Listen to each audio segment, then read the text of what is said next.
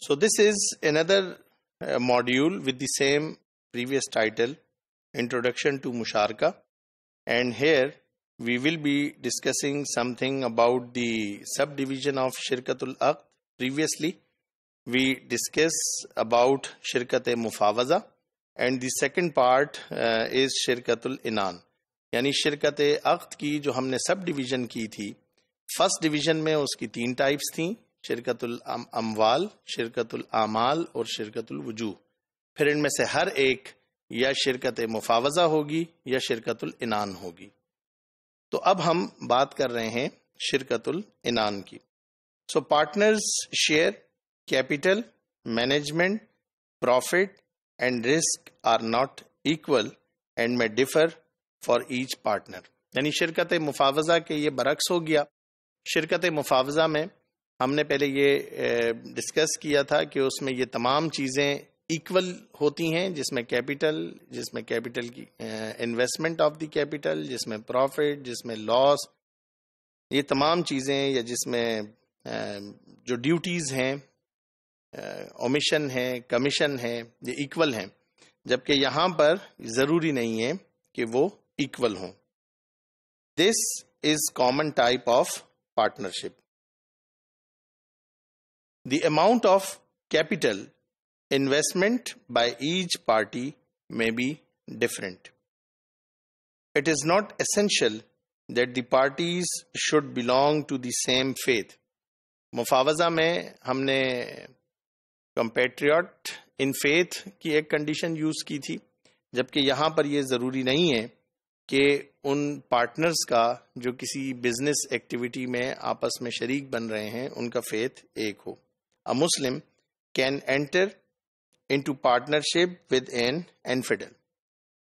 एक मुसलमान एक नॉन मुस्लिम के साथ मिलकर के भी कोई बिज़नेस एक्टिविटी पार्टनरशिप में कर सकता है शिरकतुल इनान की कंडीशंस डिस्कस करते हुए हम ये भी कह सकते हैं कि in this kind of partnership the powers and functions of business partners में डिफर मुख्तलिफ़ पार्टनर्स मौजूद हैं, एक से जायद हैं तो उनमें हर एक पार्टनर की पावर्स भी डिफरेंट हो सकती हैं और उनकी जो फंक्शनैलिटी है, जो उनका रोल है, वो भी डिफरेंट हो सकता है।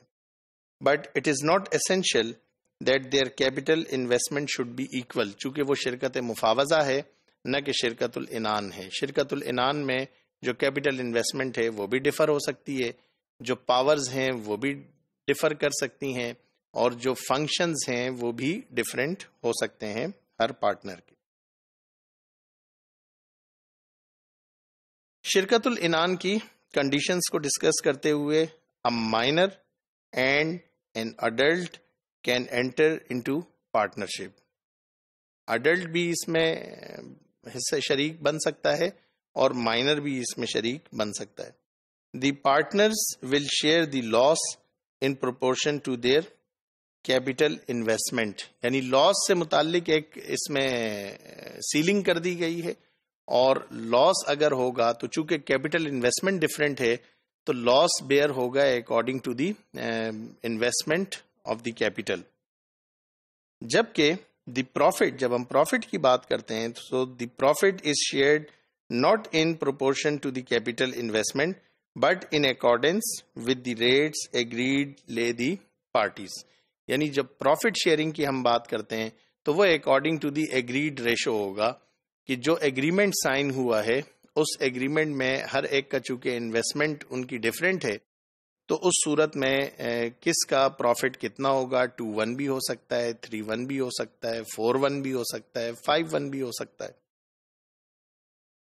तो प्रॉफिट शेयरिंग के लिए ये रूल हो, होगा कि उसमें हम इन्वेस्टमेंट को कंसिडर करेंगे। और उसमें प्रोपोर्शन जो है वो इन्वेस्टमेंट्स के साथ उसको लिंक करना ज़रूरी नहीं है, बल्कि वो उसमें डिफर कर सकता है। लेकिन लॉस बेयर करने में वो इन्वेस्टमेंट का जितना प्रोपोर्शन है, उसके मुताबिक ही लॉस बेयरिंग होगी, न कि उसके बरक्स होगी। A partner with the consent of the other partner can enter into partnership now from here we are discussing duties and rights of the partners.